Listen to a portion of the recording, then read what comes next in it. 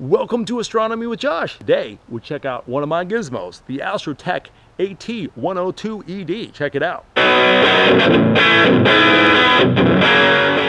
Hey, what's up everybody? Good to see you. It's been a little while, hasn't it? So somebody left a comment on my channel and said, hey, what is this telescope? And is this a feather touch focuser? The answer to your question is, it's the Astrotech AT102ED and no. But let's get into it. So we're gonna talk about what it is. We're going to talk about what this mount is, show you some of the photography um, I've done with my brother through it, and what observing is like with it, and what it's like to have this scope. Okay, so for starters, the thing that really matters when you're talking about any scope, the optics. This is an ED, so that's extra low dispersion glass doublet. I think it's FK 61, whatever it's called. It's got knife edge baffles in there, you can see. Fully multi-coated. An F7, so it's a 714 millimeter focal length, moderately fast scope, got that retractable dew shield.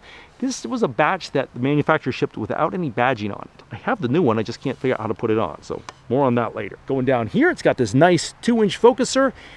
It's got dual speed, which is nice, so you can get it roughly where you need and then just dial it in with that. It's got markers on there so you can remember your setting if you're using a camera and you can lock it down, which is sweet. had some trouble in the winter this, the rack and pinion got a little bit sticky.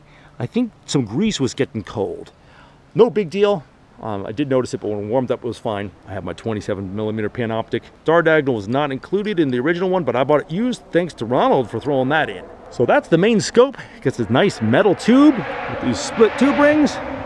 Or the racetrack beyond my house. Vixen style uh, dovetail right there. And then I put the finder scopes on. I'm pleased with this little bracket I made right here. So I just made this out of a piece of scrap steel. I have my right angle correct image finder and my Rigel quick finder right here for my red dot. So this is nice. I can point it at the sky and it puts a bullseye on it. And then that can really zoom in. That's a 8 by 50 right there. It's got the crosshairs and everything. So that's cool. It's sitting on, I put it on an Orion AstroView EQ mount right here. It's about 27 and a half pounds fully assembled. The telescope is nine pounds and then you add this, so about 40 pounds when we're done, said and done. What this is, if you've never seen one of these, it's a pretty cool gizmo. If I were to spin around like this, right, and look right above me, that wouldn't be spinning. This is the North Star and I'm the Earth.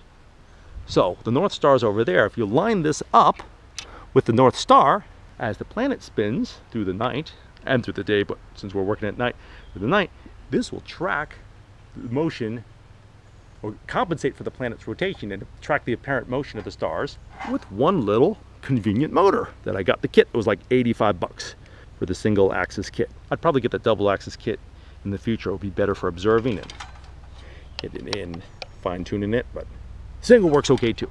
So it's got these big old counterweights the polar scope right there, which I really wish was illuminated. It would make things a lot easier. How's the mount? Not as good as the telescope. It's rated at 12 pounds, and so we're pushing it when we put the camera on it. There's parts that are kind of plasticky. These things, and they're hard to find in the dark. Um, there's a little slop in it. It's not too bad, but it's not great either. The telescope feels a lot more premium than the mount. It's passable, it works, and we got some good photos with it. It takes a little fiddling to get it just right, polar aligned. Got a little level, which is nice too. So, okay, observing with it. What's it like to look through? Well, there's the moon over there. Let me line it up. Ooh, this, see, this is why it's nice to have the right angle, because, or the red dot, I should say. That's the cloud. There we go. Booyah. Okay, so focusing it in, the focuser feels nice and smooth. I've got some gunk on the eyepiece, but see if we can see that. Okay, so it's pretty color free right now. There's a tiny bit of yellow around the limb of the moon. When I'm observing with higher power late at night, I can see uh, there's some purple fringing on the craters. There's definitely color in it. I call it a semi-apo. It's pretty good though. If I want completely color-free images, I use my reflectors. This has a nice aesthetic to it though. It's great for deep sky. It punches above its weight. I can resolve a few stars at the edge of M13. Lots of nice star clusters and it's great for nebula and some wider fields. All in all, it's a really satisfying telescope to use and I find it comfortable most of the time because I can sit here in a chair and look at it. Now, granted, sometimes it'll be at weird angles. Another nice thing for doing outreach is it's immediately recognizable as a telescope. I know that sounds weird, but some of the contraptions I drag out to do outreach, people are like, what is that thing? It looks like a snowman or it looks like a space heater. This is immediately recognizable as a telescope. And check out some of these photos that my brother took through it with his Canon something or other. I'll put the link up right there.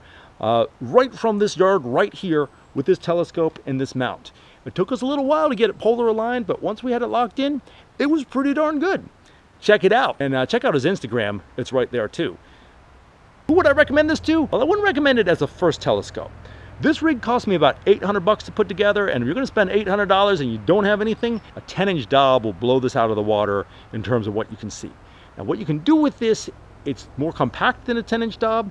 It's not grab and go, I would call it, because even though it's only 40 pounds, it's hard to get this tripod in and out the door and you can take it apart, but it's more cumbersome than you would think. It's really nice to use though, and it would be a great second telescope. It's also a nice introduction to astrophotography, although if I were building a rig again, I would get the 80 millimeter version of this on the same mount or a different scope and a bigger mount. The mount is definitely the weak point of this rig. You want to spend more than you think on the mount. That's the takeaway there. If you have any questions, please let me know. Be more than happy to talk about it. I love talking gear.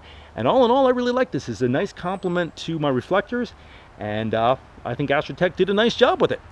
We'll see you around.